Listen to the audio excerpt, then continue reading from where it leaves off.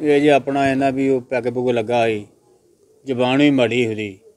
ਤੇ ਕਿਉਂ ਫਿਰ ਨਸ਼ੇ ਦੇ ਲੋਰ ਚ ਉਹਨੇ ਫਿਰ ਇਹ ਕੰਮ ਕਰਤਾ ਉਹਨੇ। ਇਹ ਜੀ ਸਰੀਆ ਦੱਸਦੇ ਜੀ ਵੀ ਸਰੀਆ ਉਹਦੇ ਕੋਲ। ਹਾਂਜੀ।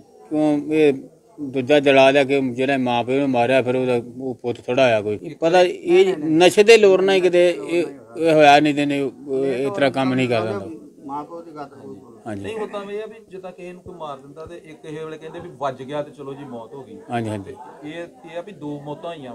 ਹਾਂਜੀ।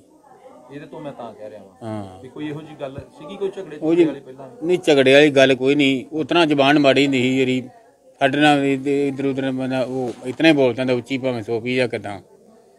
ਤੇ ਉਹ ਚੱਕਰ ਆ ਵੀ ਉਹ ਕਹਿੰਦੇ ਨਸ਼ੇ ਦੇ ਲੋਰ 'ਚ ਕਿਤੇ ਗੱਲ ਵੱਧ ਘੱਟ ਹੋ ਗਈ ਆ। ਇਹਦੇ ਬਾਰੇ ਕੀ ਕਹਿ ਸਕਣਾ ਜਦੋਂ ਸਮਾਂ ਵੇਲਾ ਮਾੜਾ ਆ ਜੇ। ਜਵਾਨ ਮਾੜੇ ਅੜਦੇ ਸੁਭਾਅ ਦਾ ਸ਼ਰਾਬ ਪੀਤੀ ਨਾ ਸ਼ਰਾਬ ਜ਼ਰੂਰ ਤਾਂ ਨਸ਼ੇ ਦੇ ਲੋਰ 'ਚ ਉਹਨੇ ਕੰਮ ਕਰ ਦਿੱਤਾ ਵਾ। ਮਤਲਬ ਨਸ਼ੇ ਦੀ ਨਸ਼ੇ ਦੀ ਆਦਤ ਨਸ਼ਾ ਸਿਰਫ ਸ਼ਰਾਬ ਦਾ ਹੀ ਹੋਰ ਕੋਈ ਨਸ਼ਾ ਨਹੀਂ ਹੈ। ਹਾਂਜੀ। ਸਿਰਫ ਸ਼ਰਾਬ ਹੀ ਪੀਂਦਾ ਹੈਗਾ ਵਿਆਹ ਹੀ ਲਾਗੇ ਸਾਡੇ ਤਰੀਕੇ 'ਚ।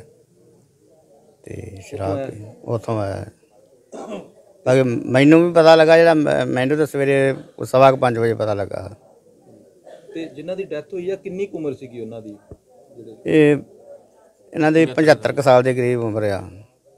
ਜਿਹੜੇ ਭਾਈ ਸਾਹਿਬ ਸੀਗੇ? ਹਾਂਜੀ ਵੱਡੇ ਭਾਜੀ ਤੇ ਜਿਹੜੀ ਲੇਡੀਜ਼ ਆ ਉਹਨਾਂ ਦੀ ਕਿੰਨੀ ਉਮਰ? ਹੈ ਜਿਹੜੀ ਉਹਨਾਂ ਦੇ ਵੀ ਕਰੀਬ ਕਰਿਆਨੇ ਗਏ 75 ਤੇ 74 75 ਦੇ ਕਰੀਬ ਹੈ ਕੋਈ ਗੱਲ ਨਹੀਂ ਇਹੋ ਜਿਹੀ ਤੇ ਏਡੀ ਕੋਈ ਗੱਲ ਨਹੀਂ ਹੈਗੀ ਵੀ ਪਹਿਲਾਂ ਲੜਾਈ ਝਗੜਾ ਹੁੰਦਾ ਜਾਂ ਤੁਹਾਨੂੰ ਪਤਾ ਜੇ ਬੱਚਾ ਵਿਗੜਦਾ ਜਾਂ ਕੋਈ ਬੱਚਾ ਸ਼ਰਾਬ ਪੀ ਕੇ ਉਹਦਾ ਮਾਪਿਆਂ ਦਾ ਕਹਿਣ ਦਾ ਤਾਂ ਫਰਜ਼ ਬਣਦਾ ਹੀ ਹੈ ਨਾ।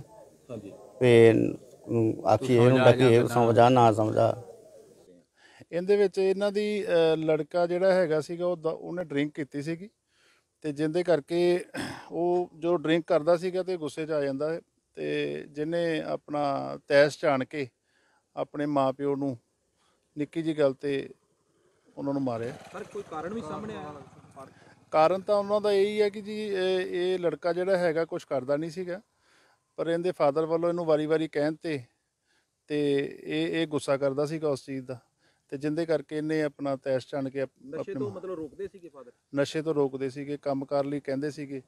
ਤੇ ਇਹ ਉਸ ਚੀਜ਼ ਦਾ ਨੂੰ ਮਾਈਂਡ ਕਰਦਾ ਸੀਗਾ ਤੇ ਜਿੰਦੇ ਕਰਕੇ ਇਹਨੇ ਸਰ ਹੁਣ ਇਸ ਟਾਈਮ ਡੈੱਡ ਬੋਡੀਆਂ ਕਿੱਥੇ ਨੇ ਤੇ ਕੀ ਅਗਲੀ ਕਾਰਵਾਈ ਜਿਹੜੀ ਲਿਆ ਡੈੱਡ ਬੋਡੀ ਜਿਹੜੀ ਹੈਗੀ ਆ ਸਾਡੇ ਕਬਜ਼ੇ 'ਚ ਆ ਤੇ ਅਸੀਂ ਇਹਨੂੰ ਪੋਸਟਮਾਰਟਮ ਕਰਾ ਕੇ ਤੇ ਫਿਰ ਅਸੀਂ ਇਹਨਾਂ ਦੇ ਹੈਂਡਓਵਰ ਕਰਾਂਗੇ ਜੀ